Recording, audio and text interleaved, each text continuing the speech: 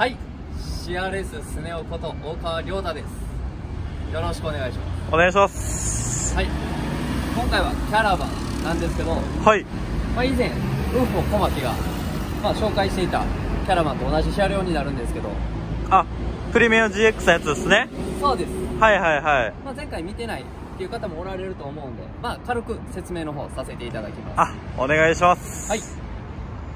2000cc のガソリンですね肉ですか？肉になっております肉ではい、はい、プレミアム GX になってまして、まあ、フロント何が変わってるか、あ、そうですね。まずコンプリート名紹介します。そうですねちょっと忘れてたでしょ、忘れて今ましたね。そうね。一応こちらの車両、CRS パッケージ。CRS パッケージはい、組まれておりまはいす。で、一応前なんですけど、はいまあ、純正のフロントプロテクターですね。これあのメーカーさんが出してるやつですよねあ、そうです。ですねはいがついております。で、まあ、前はほぼほぼ、こんな感じで。もうねシンプルな感じですもんねそうですね。で横がもうホイール変わってて、で、2インチローダウンしてるっていう。2インチローダウンですね、はい。はいはいはいちょっと中見してもらっていいですか？わかりました。わやっぱ新車の匂いしますねさすが新車です。ねえやっぱいい匂いしますわ、で、一応 CRS パッケージということで、後ろカスタムベッドがついております。あー耐久性500キロまでいけるやつですね多分せ1トンぐらいは。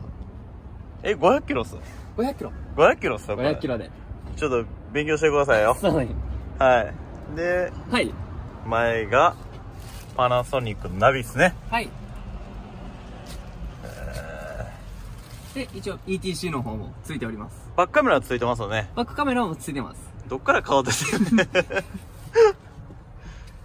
いややっぱハイエースにないね。こういうエアコンパネル系とか。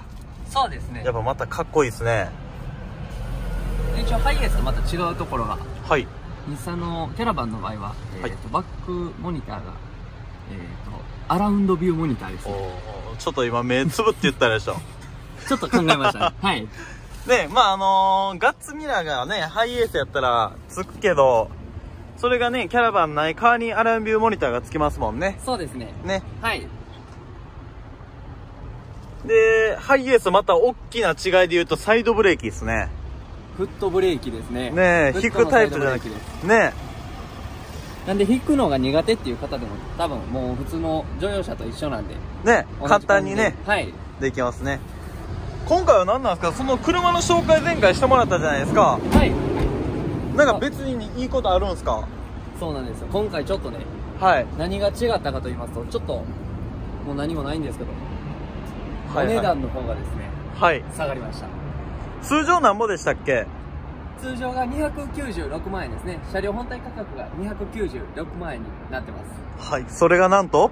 なんと10万円マイナスで286万円になりました。めっちゃ安くなりましたね。めちゃめちゃ安いです。これも一台限りだけですか？もうこの1台限りだけですね。あそうなんすね。もう一度同じキャラバン作ってくれって言われてももうこの金額では正直作れないぐらいあ下げさせていただいて。まあ、ます、今回限定1台ってことで安くするってことで。そうです。なので早めのお問い合わせをお待ちしております。はい、ありがとうございます。ありがとうございます